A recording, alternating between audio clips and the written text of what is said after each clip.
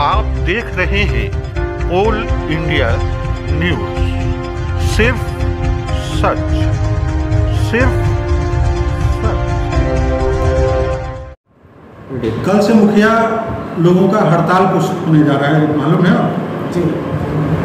आखिर क्यों? बहुत सी कार्य ऐसा है कि हम लोग को करने में बहुत बाधित हो रहा है। इसके चलते हम लोग हड़ताल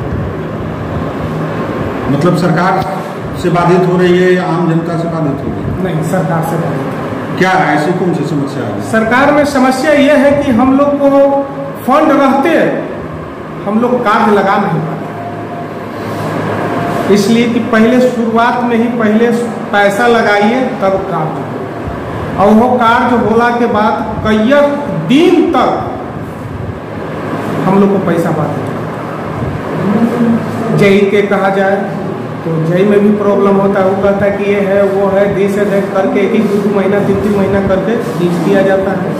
और हम लोग को पैसा बाधित रहा, रहता है, और कार्य करने में बनता है। दूसरी बात है, मनरेगा में बहुत सी चीज़ है कि पेमेंट सही समय पर होने के न कारण के कारण हम लोग मनरेगा से कार्य करने में तो जो हड़ताल आप कर रहे हैं इसकी विधिवत सूचना सरकार को जा चुकी है?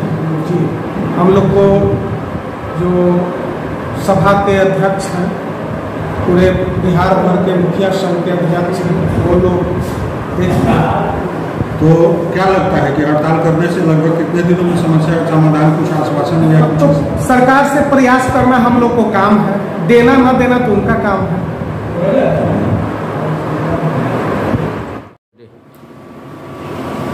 सादिकपुर पंचायत और यहाँ के आप मुखिया हैं। तो सादिकपुर पंचायत को चलाने में बहुत संघर्ष करना पड़ता है या कोई भी पंचायत हो। जी। अब तक जो समस्याएँ आपके सामने पिछले कुछ दिनों से सुनने में भी आ रहा है तो ये किस तरह की समस्याएँ आ रही हैं? देखिए समस्याएँ तो बहुत तरह की है और अभी तो जब से हम, हमारी जीत हुई है, हम यहाँ बैठे हैं, तब से पिछले बार जो मुखिया जी थे, उनके जाने के बाद कुछ फंड बचा हुआ था। उससे यहाँ वहाँ काम किया जा रहा है।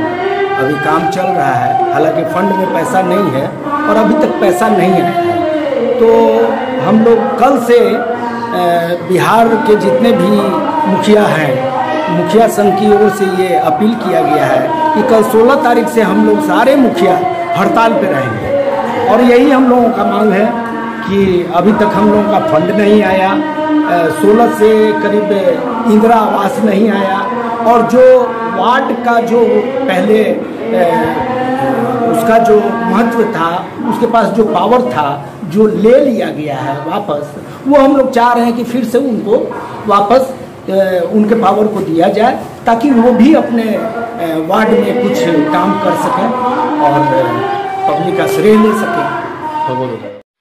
आप देख रहे हैं ऑल इंडिया न्यूज़ सिर्फ़ सच, सिर्फ़